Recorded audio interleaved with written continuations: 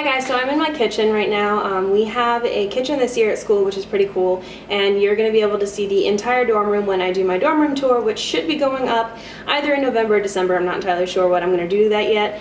But right now, I'm going to be talking to you all about Coffee Crazy and this is an organic French roast. So I'm a coffee fiend, like literally obsessed with it.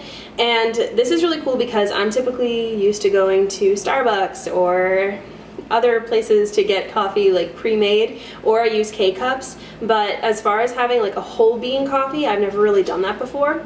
So this one's really cool because it comes as a whole bean coffee and you have to grind it yourself and you have to do everything on your own. Um, so this says that it's a coffee uh, it's a coffee. Our coffee is a blend of organically grown Arabica specialty coffee beans and it is USDA organic. And my roommate is trying to be super quiet right now while eating grapes in the background. But um, so it is whole beans, so that means that you have to grind them up yourself, or you can go to A&P or possibly even Starbucks. I know that they grind beans. I'm not sure if they'll do an outside bean, but if you bring it in a bag and be like, hey, I didn't get it ground up, can you do it for me? They might do it for you. So I have a grinder and I already poured in the beans and I ground them up myself. So I'm now going to show you what the finished product looks like and I am going to add in the milk choice as well so stay tuned I also thought that I would show you guys what the beans look like on the inside so when you open up the packaging do, do, do. I did kind of a crummy job of opening it because I didn't know how to open it well.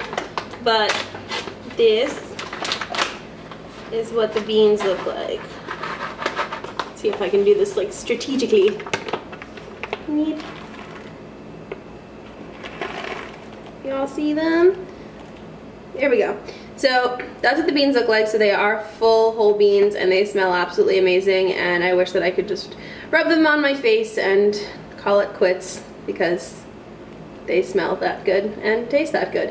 Um, that was kind of an odd visual to give you all. But that is what I am going to be making the coffee with and I hope that you all enjoy. Alright, so I'm just going to be using my Keurig and we are allowed to have one this year. Typically we're not allowed to, but because we have a kitchen, they can't exactly say you're not allowed to bring a coffee maker with you.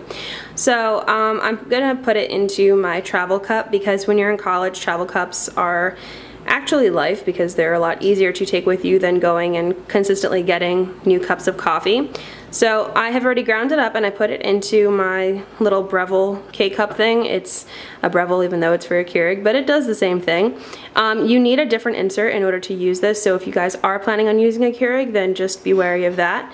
Uh, they are easily purchasable. I don't even know if that's a word, but if it is, I just made it one, or if it isn't, I just made it one.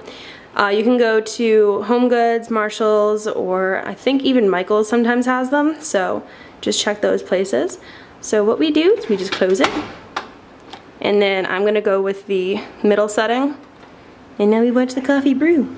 So the finished product is in here. I don't know how exactly to show it to you without spilling it everywhere. But you can see it's coffee. It's brown because coffee is brown.